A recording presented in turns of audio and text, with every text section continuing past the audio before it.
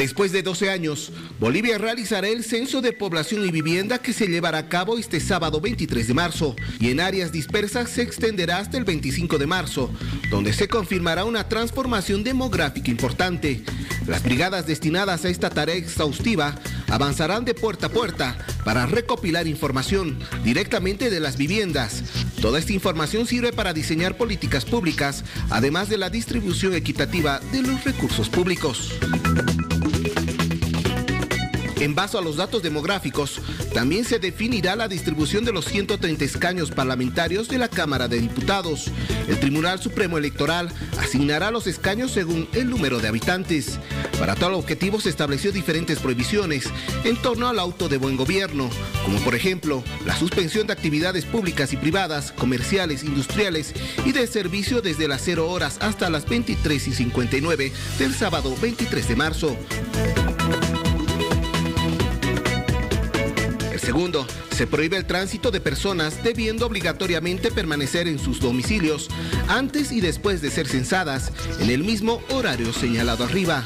Se prohíbe el tránsito de vehículos públicos y privados, debiendo suspenderse los servicios de transporte internacional, interdepartamental e interprovincial. Se prohíbe el expendio y consumo de bebidas alcohólicas en establecimientos públicos y privados. Queda prohibido portar armas de fuego, instrumentos contundentes o peligrosos. Todas estas ordenanzas serán de igual manera en el horario establecido que señala la autoridad.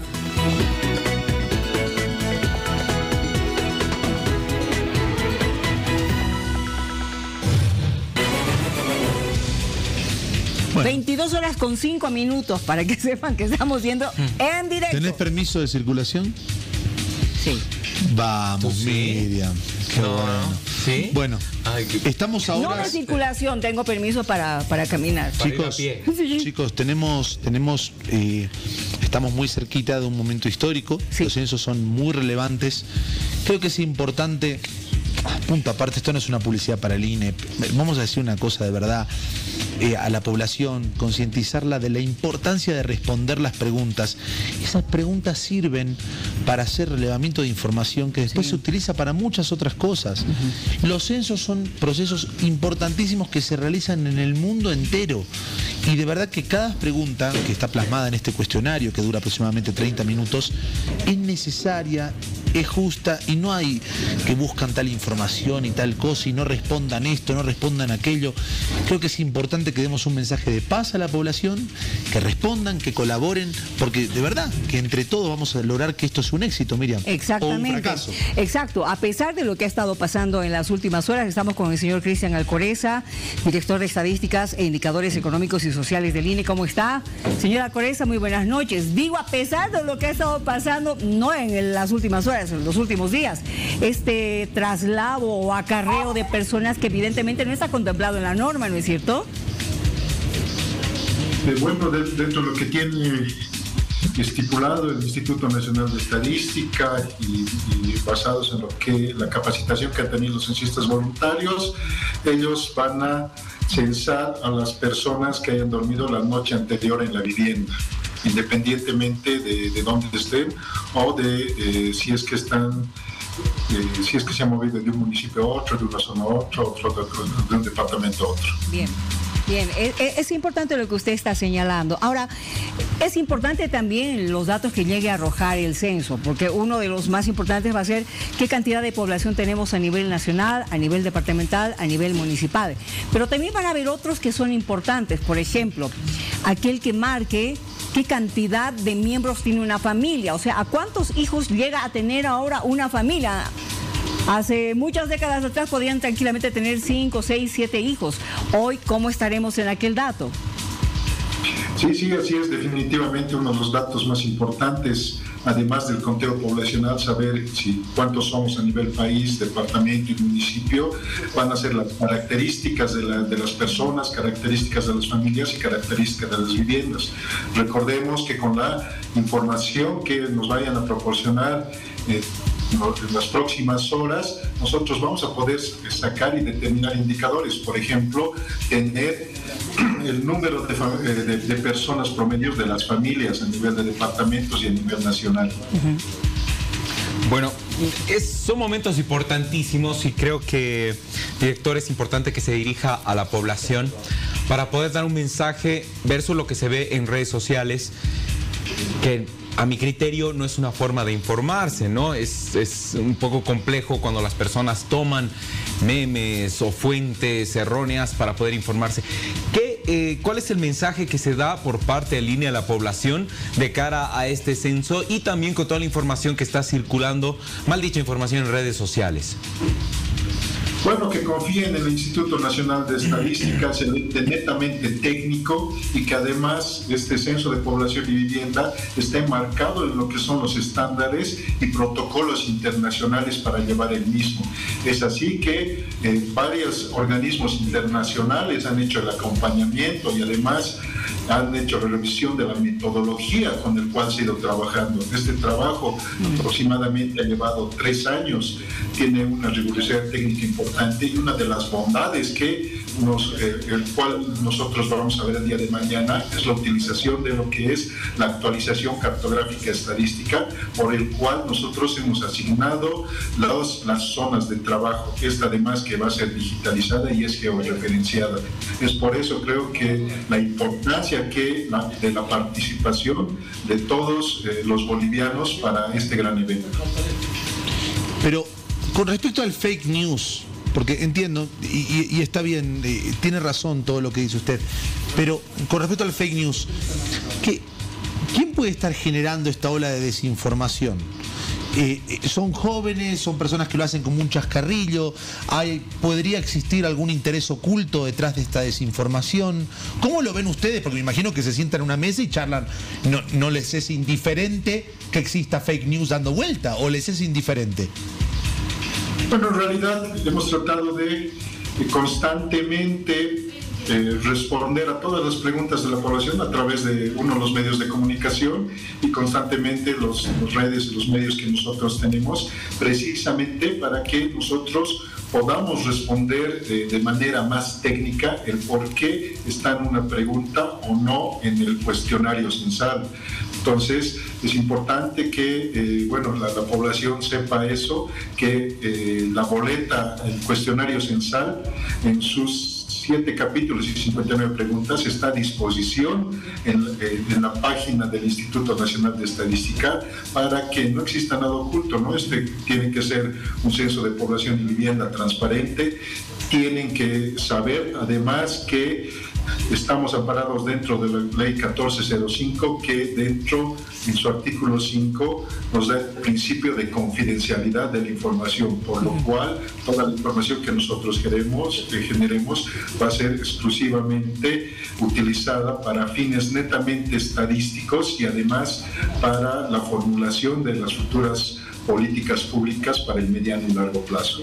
Muy bien, director. Entonces, ¿qué le parece si tomamos algunos de esos criterios que se tergiversan en redes sociales para desmitificar en este momento. Hay uno de los factores que usted mencionaba, actualización cartográfica. Esto podría ayudar a los municipios a iniciar un proceso limítrofe geográfico, porque si yo, Pedrito Pérez, trabajo y vivo aquí y en, en el censo me sale que pertenezco al municipio X, entonces ahí estamos delimitando también geográficamente eh, una zona.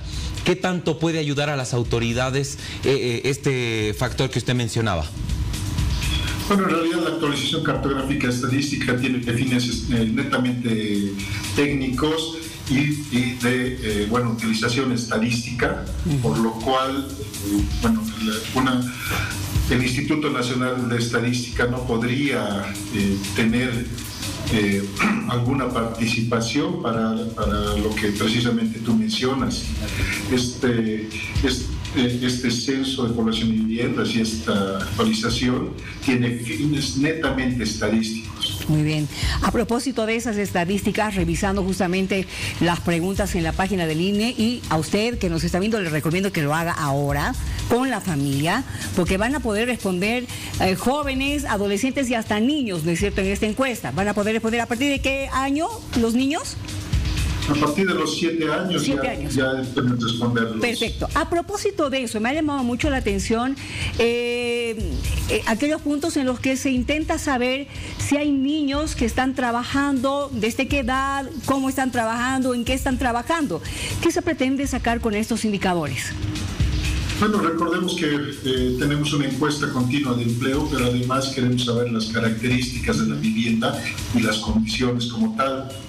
Imagínense en caso eh, la, respuesta sea afirmativa o positiva en, un, eh, en, personas menores de edad, entonces definitivamente algunas de las políticas públicas tendrían que ir para reducir esta, esta cantidad del número de personas que estuvieran trabajando y sean menores de edad. Entonces, de la importancia que nosotros podamos eh, responder todas las preguntas del Censo de Población y Vivienda. Bueno. Bueno, esperemos que mañana todo transcurra de una forma adecuada. ¿Algún consejo que le pueda dar la población que está en este momento ya llegando a sus casas para quedarse y para estar todo el día y cumplir, por supuesto, con su deber? ¿Algún consejo que le pueda dar? Bueno, más que todo, invitar a toda la población en su conjunto a que pueda participar de, lo que es el Censo de Población y Vivienda, abran sus puertas al censo, recuerden que todos los censistas bolivianos eh, voluntarios que están saliendo en un número de más de 800 mil a nivel nacional son vecinos nuestros, son hijos nuestros, son, son nietos nuestros, son vecinos de la zona, entonces por eso este censo es tan participativo. Entonces va el hecho de que ustedes puedan eh, responder las preguntas del cuestionario adecuadamente va, va a ser utilizada para lo que menciono siempre es la formulación de las políticas públicas. Bueno, son muchas las preguntas, en realidad quizá un poco prematuro hablar todavía de la proyección de estos datos para un, Big Data a mediano plazo en el país. Qué lindo sería tener información cruzada con el CEGIP, etcétera. Pero bueno, eh, otro de los datos, igual que se habla mucho en redes sociales, es aunque parece sencillo, pero está bueno que lo podamos socializar. Eh, de buena o mala fe, no sé, se puede invitar comidita a, los censistas, hay personas que están preparando platitos, refresquitos, galletitas, incluso he visto memes hasta de parrilladas, pero eh, sale de una buena voluntad de la gente. ¿Cuál es la normativa? Bueno, dentro del protocolo que se ha activado de seguridad para los censistas eh, voluntarios, es que primero él tiene que recabar la información únicamente en la puerta del domicilio. Se invita a que inicialmente el jefe de hogar pueda levantar el cuestionario, pueda, responder a las preguntas y seguido a eso todos los miembros de la familia. Segundo, además de eso, es que se le ha pedido, recomendado al censista voluntario que pueda llevar su, propio refrigerio. Esto también es por un eh, por, el mismo protocolo de seguridad. Además que en, días anteriores, en estos últimos días, se ha activado un protocolo de seguridad para el censista eh, para el censista seguro para que este, en el transcurso de, de, las próximas horas, se le va a dar una aplicación para su teléfono en el cual, en caso él estuviera en algún tipo de peligro, pueda apretar el botón de plástico para que inmediatamente la policía boliviana, eh, supónganse en las áreas amanzanadas, las EPIs, puedan inmediatamente socorrer al censista voluntario. Es básicamente por, eh, por eh, este protocolo de seguridad al censista voluntario. Bien, quiero hacer una consulta. ¿Cómo van a proceder con personas que tengan alguna discapacidad auditiva, que sean sordas? ¿Están preparados para aquello los censistas? Bueno, dentro de lo que es el, manual en el cual se los ha capacitado los censistas voluntarios, una vez que se identifique a estas personas eh, con algún tipo de discapacidad u otros, el censista voluntario inmediatamente eh, informará a lo que es su supervisor para que se puedan tomar eh, las medidas necesarias. Imagínense que el censista voluntario por, eh, por las condiciones de esta persona eh, no pueda salir a la puerta del domicilio y esta necesariamente tenga que ingresar. Seguramente el supervisor la acompañará al censista para que se pueda levantar la información. Muy bien, le agradezco mucho, don Cristian Alcoreza, por habernos dado toda esta información. Mañana, por favor, quédense tranquilos. ¿A partir de qué hora van a comenzar ya a, censar? Bueno, las actividades comienzan muy temprano a las 6 de la mañana con la apertura de las oficinas censales. Aproximadamente entre 7 y 7.30 los supervisores estarán entregando sus bolsas censales a los eh, censistas voluntarios y los censistas voluntarios está previsto que aproximadamente a las 8 de la mañana comiencen con su primera vivienda. 8 de la mañana hasta las 6 de la tarde hasta que hasta que acaben, ¿no? Creemos que va a ser incluso un poco menos. Ya. Pero eh, bueno, invitamos más que todo a toda la población que pueda esperar al censista, que una vez que eh, cense en su vivienda se quede también cumpliendo el auto de buen gobierno para que eh, todos estos censistas puedan hacer un mejor trabajo. Le agradezco mucho, señora Alcoreza. Gracias, director, por toda la información. Que le vaya bien. Buenas noches. Muchas gracias. Buenas noches.